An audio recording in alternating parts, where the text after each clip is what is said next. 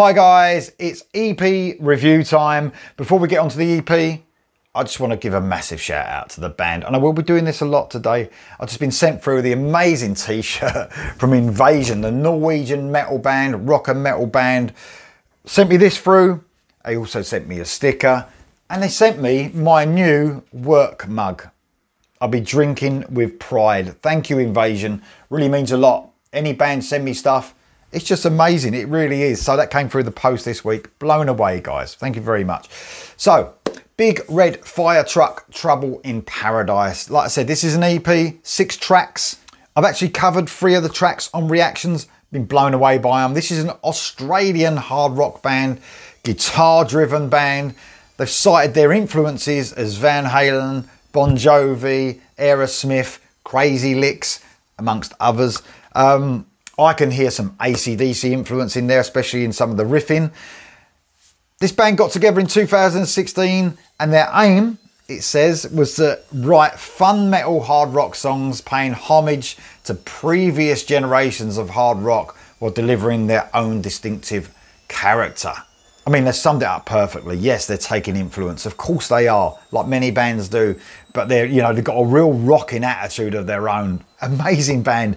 And apparently they're an amazing band live as well. So if I ever get to, if they ever come from Australia all the way here, I would definitely check them out. It have to be quite near me though. I live in the sticks away from anywhere. But um, I would definitely check them out for sure. So six tracks to talk about. Going to talk about all of them. We uh, start off the album with Neon Sunsets, which is just like a little intro, minute, nearly two minutes long. It builds you up with a sort of Stranger Things type synth feel. It's brilliant because it just sets you up and it goes into the excellent single Trouble in Paradise.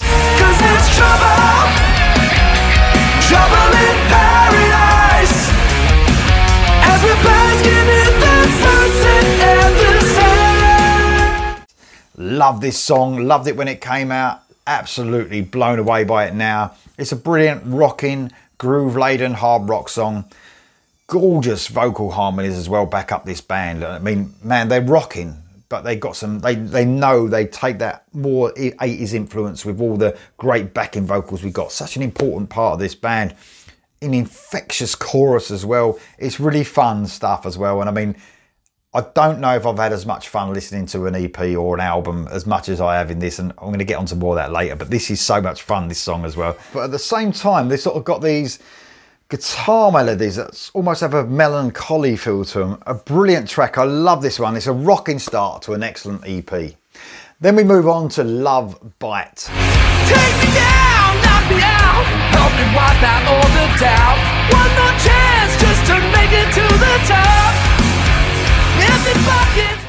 This was another single. I covered this one as well, and it's definitely party time. Here we go.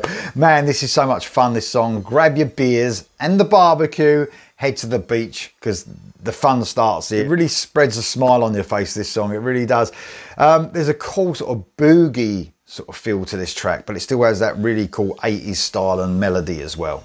Then we move on to Psychotropic Thunder.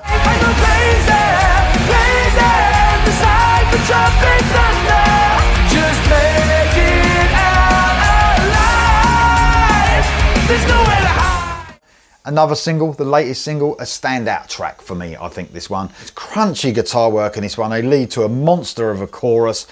I can imagine this one is uh, almost like on a soundtrack or something, maybe like a comedy horror, and you can imagine the title tracks coming up and this song playing. I don't know why I thought of that, but it, that's what it sounds like to me. Really rocking, really fun again. A great track. Miami Skies is next. Again, such fun listening to this song, this time with a sort of little punky sort of attitude. If you're still on the beach at this point with your mates, it's another perfect summer track. It really is. The guys really are great at sort of writing uplifting, infectious melodies. They really are. Um, it doesn't get much more fun than this until we hit the last track, of course. And here we are, the last track. I love it. It's called Hot Summer Nights. The title says it all. I might be passed out this by this time on the beach to teeter if I can't really handle my drink. But um, this song is just perfect for those people that are still around on the beach. Perfect beach vibes, it really is. Probably the standout track for me in an EP that is packed with highlights. if we lived in a different time, this would be the song that would make this band massive. It really would. This would be a definite hit. Infectious, hooky, and so much fun to listen to. It really is. It's brilliant stuff. I haven't actually said the guys' names in the band. I think I have before in some um, in some other videos, but I should take advantage of that because they're so easy to say. so because I usually have trouble pronouncing names. Digby on the guitar and lead vocals is what an amazing talent, what an amazing guitarist and vocalist. Ben Frank on the guitar, just alongside Digby. There's loads of dueling guitar stuff going on. Pete Grant on the drums and Nick Fraser on the bass to provide a brilliant rhythm section. It's pounding, it's really groove laden. I love it. Big Red Fire Truck, Trouble in Paradise, EP coming out, six tracks, guys. They're all brilliant. It's coming out on the 4th of August. It hits hard, it's quick, it's gone out of there, and it stays there. That's the main thing. Guys, let me know what you think. Are you going to get this? Please support the band.